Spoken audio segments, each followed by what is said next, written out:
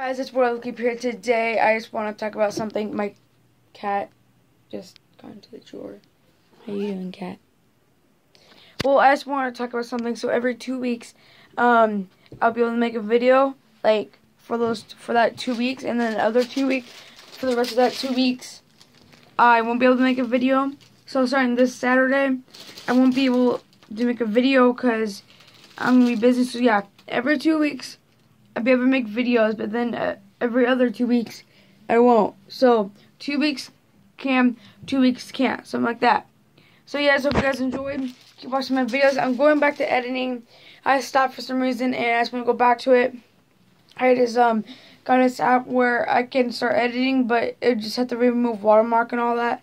So I'm have to pay a little bit of money. So uh, in the next two weeks, um, so in the next two weeks, I'll start editing. And. I'll see you guys next time. Bye.